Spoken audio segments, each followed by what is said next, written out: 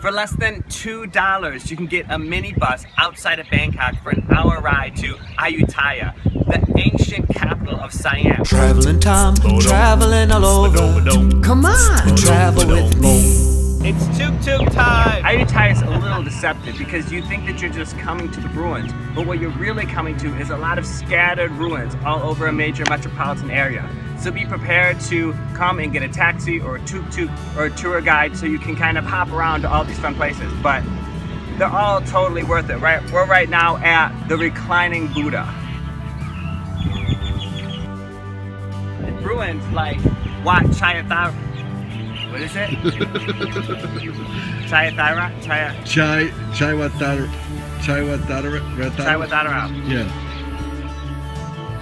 You might think that all of these ruins are the same, but they're not. You start to get a feel of how the ancient Thai people built their temples and cities.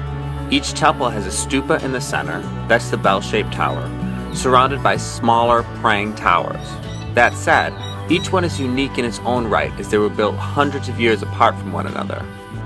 Wat Mahathat boasts a Buddha head that has fallen and then was engulfed by a Bodhi tree, the same type of tree that Buddha himself found enlightenment under. Thailand is hot. It's humid, it's sticky.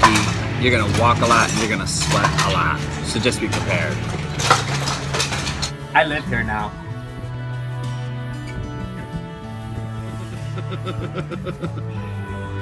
Why is it so scary? It's. Very, very steep. Thanks for coming to Ayutthaya with me. If you miss Bangkok, check it out here. I'm traveling to lots of other places, so check that out here. And of course, don't forget to subscribe, like, comment, share, and tell all your friends. Thanks!